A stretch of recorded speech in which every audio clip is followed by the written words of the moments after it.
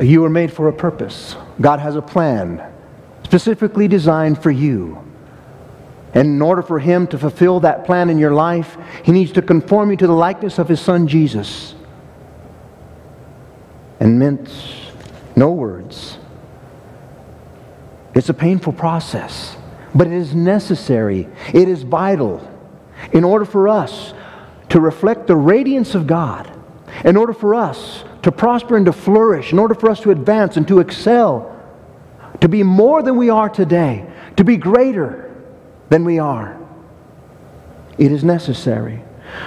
The forging process is a very violent process. There's a lot of pain and suffering involved in conforming sinful man into the likeness and perfection of Christ Jesus our Lord. We all must go through it. There's no way to escape it. If we are going to one day reflect the true radiance of God, there needs to be a purging, there needs to be a cleansing, there needs to be a molding, a shaping that takes place in our life. The question is will we be willing to go through it? Or will we run from it? Will we accept God's plan, His perfect plan, His perfect will for our life, even if it includes trials and tribulation and persecution and hardship? Paul said, Bring the rain. I don't care what it is, Lord, that you have in store for me, as long as it's conforming me to your likeness, it's all worth it. Let's stand and let's take a peek at what Paul experienced and what he has to share with us today. We'll be reading in 2 Corinthians chapter 11, verse 23 through 31. 2 Corinthians chapter 11, verse 23 through 31. Are they servants of Christ? I'm out of my mind to talk like this. I am more. I have worked much harder, been in prison more frequently, been flogged more severely, and been exposed to death again and again. Five times I received from the Jews the 40 lashes minus one. Three times I was beaten with rods. Once I was pelted with stones. Three times I was shipwrecked. I spent a night and a day in the open sea. I have been constantly on the move. I've been in danger from rivers, in danger from bandits, in danger from my fellow Jews, in danger from Gentiles, in danger in the city, in danger in the country, in danger at sea, and in danger from false believers. I have labored and toiled and have often gone without sleep. I have known hunger and thirst and have often gone without food. I have been cold and naked. Besides everything else, I face daily the pressure of my concern for all the churches. Who is weak? And I do not feel weak. Who is led into sin? And I do not inwardly burn. If I must boast, then, I will boast of the things that show my weaknesses. The God and Father of our Lord Jesus, who is to be praised forever, knows that I am not lying. You may be seated. There was some religious leaders going around and bragging about their religiosity. They were going around bragging just about how spiritual they were. And Paul says, Oh, yeah? I must be out of my mind, but I'm going to go there to make a point. I know what it's like to suffer. I know what it's like to experience trials and tribulations firsthand. Can anybody match my resume? All of you religious leaders out there bragging and boasting about your spirituality, can you compare your life to mine? Come on. I challenge you. Let me see your resume. Let me see your credentials. No, I know what it's like to suffer.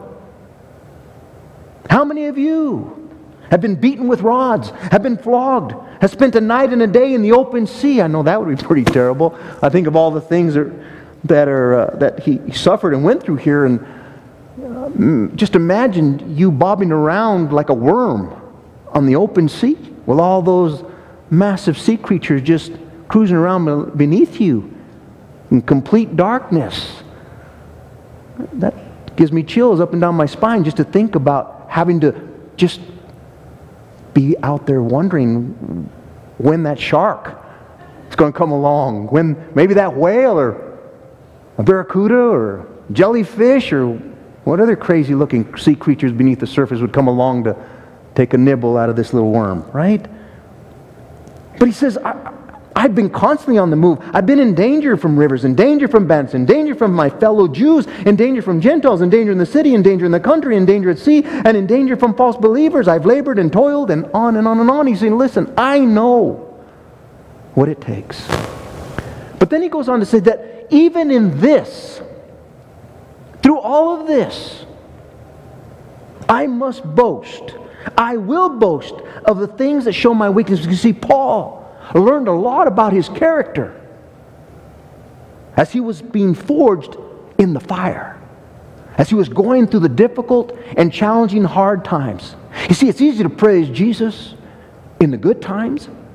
Jesus is great. Jesus is good. Yeah. He's awesome. And then we get in those situations where we're starting to feel a little pain, there's a little pressure, a little heat, and we're like, God, are you even there? Where are you, God? Do you even exist? Do I even believe? And we start doubting, we start questioning, we start wondering whether this God we've been believing in is even real, or have we made him up in our minds? We start losing it. We start becoming unglued, unraveled. Paul says, I don't mind this because in and through this, I learn a lot about me and my weaknesses. I learn those areas in my life that I need to strengthen, that I need to polish, that I need to perfect, that I need to focus on. For a chain is only as strong as its weakest link.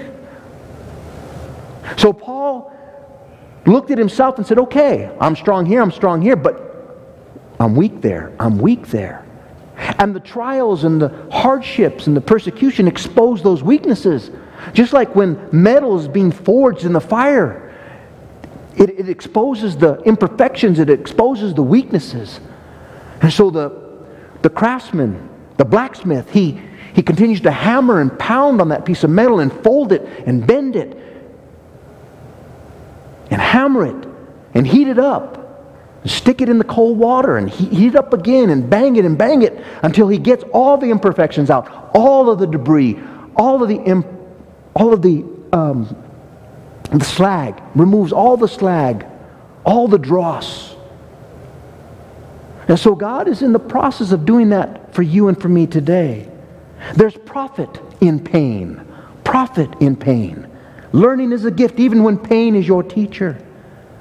Here's what you profit from the pain it strengthens your faith. When you go through painful times, when you go through the dark times in life, when the cloud seems to never leave you, when the storm does not cease, your faith is strengthened. Isaiah 40, 29, listen to what it says. He gives strength to the weary and increases the power of the weak. I can honestly tell you when you are going through hardships, when you are going through trials, when you are going through tribulations, you are going to find yourself weak at times. Where you thought you were once strong, you're going to recognize that you are now weak. That where you thought you once had it going on, not so much anymore. And so you learn a lot about your strength your faith when you go through difficult and challenging times. It's easy to say, well, I have great faith. Really? You have great faith? Tell God you have great faith, and He'll test it. Not because He needs to know, but because you need to know. Because I think oftentimes we think we have great faith. And God says, well, let me reveal the kind of faith you really do have. It's easy to have faith when things are going well. But when you're going through hardships and trials and tribulations, that's a different story. You see, Christians overcome because the fire in them burns brighter than the fire around them.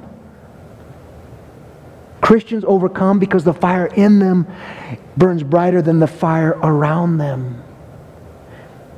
You will shine brighter in the midst of pitch black darkness than you ever will when things are going your way.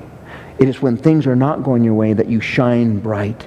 You see, it's not the tough times that last, but tough people. God makes us tough. He conforms us to the likeness of His Son. He empowers us. He enables us. He gives us strength we never thought we could possess.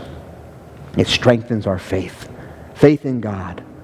Faith in His Spirit. Faith in His Son, Jesus Christ. Knowing that in and through this trial, God is working out everything for His glory and our good. Guaranteed every time. And that's why Paul says, you know what? I don't mind going through all of these things. And there's more to come. He was just sharing a little bit of what he had already gone through.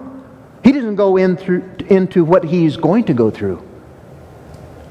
This is just what happened up to this point in time. I will boast of the things that show my weakness. The God and Father of our Lord Jesus, who is to be praised forever, knows that I'm not lying. Paul says, Listen, I'm not lying about these things. This is crazy stuff that I went through. But my God was with me all the way. And through it all, He exposed areas where I needed to strengthen. It also enables us to overcome temptation. Paul points out there, who is weak? And I do not feel weak. Who is led into sin? And I do not inwardly burn. Paul says, through this purging, through this cleansing process, I find that I have a greater ability to overcome temptation. In Philippians 4:13 it says this, I can do all things through him who gives me strength. I can do all things through Christ who strengthens me. Paul says, you know what? Because of God and what he's doing in my life, I can overcome the things that tear people's lives apart. I can have victory where other people are experiencing defeat. I'm an overcomer, an overachiever. I succeed. I excel. I advance where other people are stumbling and falling and are, are being won over by Satan to do his will. I'm able to overcome. I'm able to defeat that ancient foe, Satan. There's something else it exposes, as I mentioned, our weaknesses. In 2 Corinthians 12.10 it says, That's why I take pleasure in my weakness and in the insults and hardships and persecutions and troubles that I suffer for Christ. For when I am weak, then I'm strong. For when I am weak, then I'm strong. He says, Look, I, take pleasure in my weaknesses. In other words, because I learn from my weakness. I learn about myself, my character, my nature. God knows all about me. But I need to know more about me. God wants you to know your, where you're at in your relationship with Him. What areas of your life that still need to be worked on. And so Paul took great delight in learning about his limitations. He took great delight in learning about those areas in his life that needed a bit more attention. And so he says here that that's why I take pleasure in my weakness and in the insults and hardships and persecutions and troubles that I suffer for Christ. For when I'm weak, then I'm strong. Because you see, when you're going through the dark times in life, you find yourself leaning on God. You find yourself depending upon Him more and more. You find yourself leaning on the strong tower, that pillar, that rock, our Savior, Jesus Christ. You see, strength doesn't come from what you can do, but from doing what you once thought you couldn't do. See, many of us put limits upon ourselves. We limit what we can do, and God says, I want to stretch you beyond your limits. I want to show you just what you are capable of doing for me and for my glory and for the people that you love, those you cherish, those who are precious to you. I want to show you just what you can accomplish with me by your side. But in order for that to happen, you need to lean on me. You need to trust in me. You need to hold on to me. I need to be the rock upon which you stand. I need to be your foundation. I need to be your strong tower. I need to be the wind in your sail. When the storm comes, yes, keep rowing to shore, but keep trusting in God all the way. Trust in God and keep rowing to shore.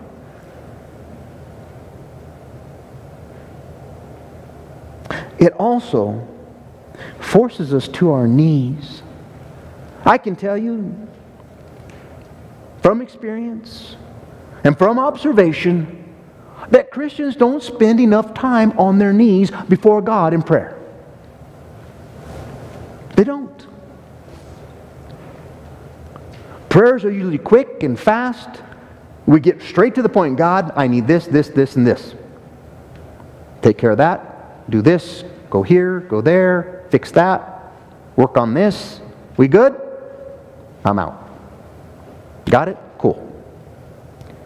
How many of us are spending time on our knees? Well, if we go to Ezra, chapter 9, verse 4 through 6. Then everyone who trembled at the words of the God of Israel on account of the unfaithfulness of the exiles gathered to me, and I sat appalled until the evening offering. But at the evening offering I rose from my humiliation, even with my garment and my robe torn. And I fell on my knees and stretched out my hands to the Lord my God. And I said, Oh my God, I am ashamed and embarrassed to lift up my face to you, my God. For our iniquities have risen above our heads, and our guilt has grown even to the heavens. Ezra understood the power of prayer in difficult and challenging times. He was looking around him and he was seeing the devastation, the sin, the licentiousness, the drunkenness, the debauchery, the homosexuality, the sexual immorality, the pervert. He was looking at it all. And he's saying, God, these are dark times. We need you, God. We need you to be a part of our lives. We need you to come and deliver us from this pain, from this suffering. Ezra was feeling what was going on around him, and many of us today are feeling what's happening around us. It's, it's disturbing, it's, it's haunting, it's, it's dark, it's sinister. What's happening in our world today, and it affects us, it affects our children, it affects our relationships, it affects our lives. It brings us pain. It brings us anguish. It brings us suffering of soul, of spirit. And Ezra said, I fell to my knees. I fell on my knees and stretched out my hand to the Lord my God. And I said, Oh my God, I'm ashamed and embarrassed to lift up my face to you, my God, for our iniquities has risen above our heads and our guilt has grown even to the heavens. He's saying, We have polluted this world so much, Father, that it is now elevated to the heavens. And we're living a time right now where man's inhumanity to man is increasing, ever increasing. It's on the rise like never before. Hatred, bigotry, racism, you name it. It's on the rise. Wars and rumors of wars. It forces us to our knees. When we're going through these times, you will find that you will be on your knees more so than ever before. We profit from pain. It connects us to Christ on a more personal level as well. That's something else we can, we can experience. It's connecting to Christ on a more personal level. People say, I want to know Jesus. Really? Do you really want to know him? Yeah, I want to have an intimate relationship with Christ. Do you know what it's going to cost you? Jesus said, You must count the cost. If you want to follow me, understand this it's going to come at a cost. Paul understood that, and he shared what it cost him. Philippians 3, chapter 8, uh, excuse me, Philippians chapter 3, verse 8 through 11.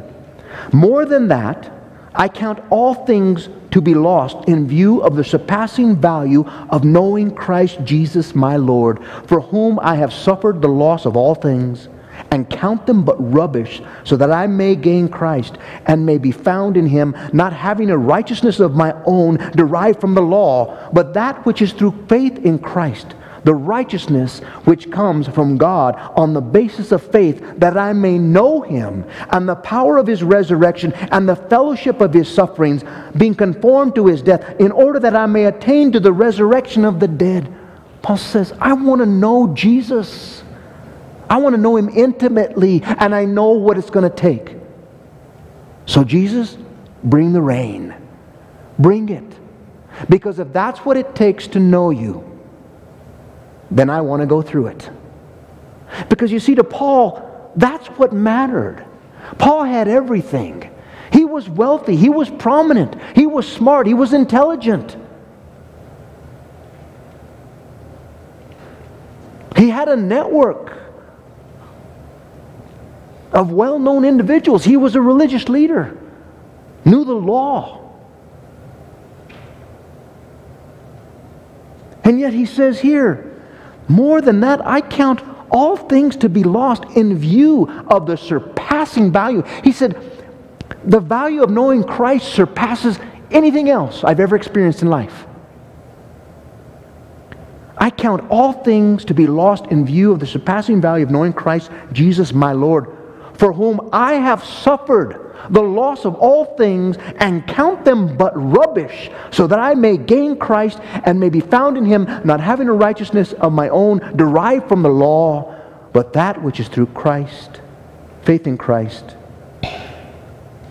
the righteousness which comes from God on the basis of faith, that I may know him. He says, if this is what it takes to get to know Jesus, I'm willing to go through it. Because that's what ultimately matters. Not my material possessions, not my financial wealth, not my status, not my prominence, not how many people I know or how intelligent I am. That doesn't compare. None of that compares to knowing Jesus intimately. So I will count all of that as rubbish for the sake of knowing Jesus intimately. I'll let go of this to obtain that which Jesus Christ died for upon that cross. And that's a relationship with God. That's what mattered most to Paul. So it connects us to Christ on a more personal level. You see, Paul learned a lot about suffering. He could connect with Jesus in the suffering. He knew what it was like to be flogged. He watches, you know, people being flogged. He's, he heard about the floggings of, of Christ. And so we and he himself was being flogged.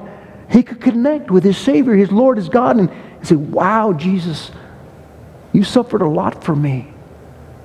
You went through a lot to save a wretched man like me. He could connect with Jesus on a more personal level. It also does something else. It builds endurance, endurance, stamina. In 2 Timothy 4, chapter 4, verse 7, it says, I have fought the good fight. I have finished the race. I have kept the faith. Paul says, listen, I fought the good fight. In other words, I was in the fight.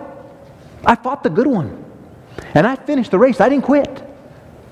Yeah, I might have been shipwrecked. I might have been bitten by a snake. I might have been left out on the sea. I might have been flogged. I might have been beaten with a rod. I, I might have gone through all of this, but I didn't quit. I endured it all and am better because of it. I'm more knowledgeable, more wise, more faithful, more in tune with my Savior, my Lord, my God than ever before. I finished the race. I've kept the faith. I didn't, in other words, I didn't lose faith. When I was out there bobbing around on the sea, I didn't lose faith. When my ship was wrecked, I didn't lose faith. When they were beating me, I didn't lose faith. When I was being stoned, I didn't lose faith. I didn't turn my back on God. I didn't walk away from Him. How many of us have thought about walking away from Christ? Because we're going through difficult and challenging times. We begin to doubt. We begin, begin to not believe that He's real, that He cares, that He loves. We begin to question His love, His faithfulness. We begin to question His presence. Does He even care? If He cared, if He was such a loving God, He wouldn't let me go through this. No, because He's a loving God, uh, He does allow you to go through it because He wants you to be up close and personal with Him. That's what he wants, ultimately, what he wants. And he knows that that will do it. But he needs our cooperation. He needs us to be willing to go through it, not shaking our fist at him, our fists at him, but putting our hands together and praying to him. Instead of being angry with him, be delighted in the fact that he cares enough for us to do a great work. He said, I'll finish the work that I began in you. I will be faithful to complete the work that I began in you. And that work is to conform you to the likeness of my Son, that you might have fellowship, intimate fellowship with him. In Isaiah chapter 40, verse 31, but those who hope in the Lord will renew their strength. They'll soar on wings like eagles. They will run and not grow weary, and they will walk and not be faint. Through all the trials and tribulations that Paul experienced, he grew stronger and stronger and stronger. He had more stamina, more endurance to finish the race. I don't believe there's a person in here that's a quitter. I believe everyone here wants to finish the race and finish it strong. I don't believe there's a person here that likes to be defeated. I believe every one of us wants to stand on the victor's podium, that we want to be victorious. We want to come out on top.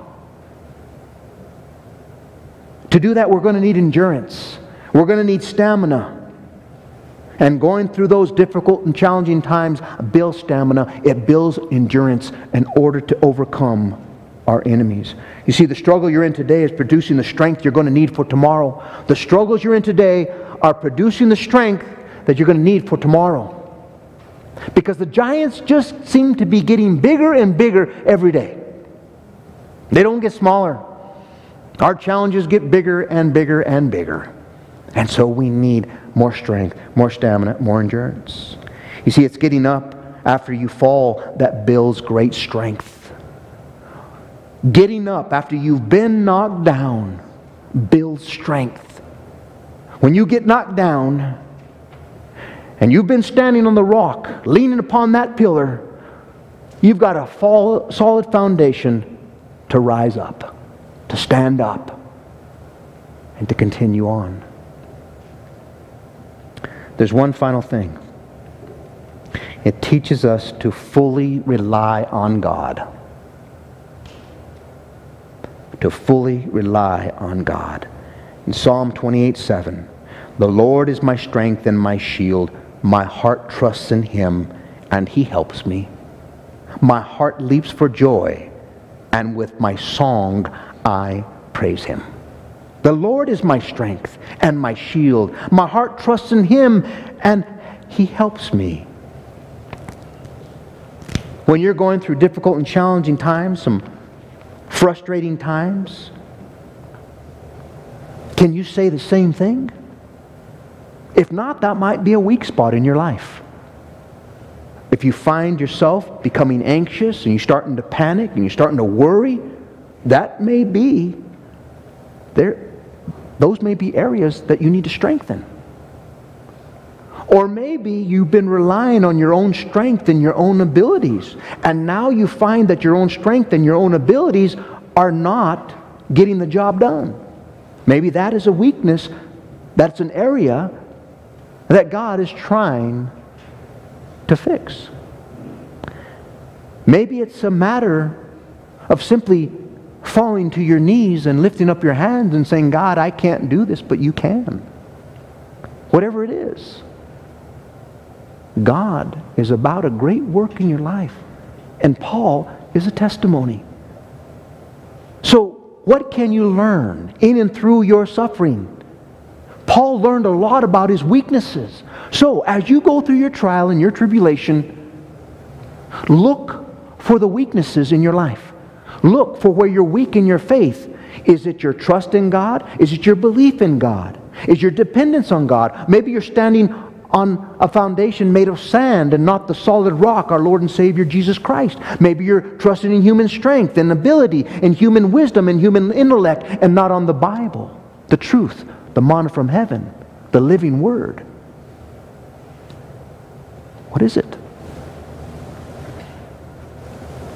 Every one of us is going to face a trial, but are we going to take advantage of that difficult and challenging time to learn something about ourselves? Because once you learn, once God points out that area in your life where you are weak, then it's simply a matter of you now working on that area through the power of the Holy Spirit, making it strong so that you stand firm. So when the storm comes, you don't get knocked down. Let's bow our heads. Let's, let's go to the Father in prayer. Let's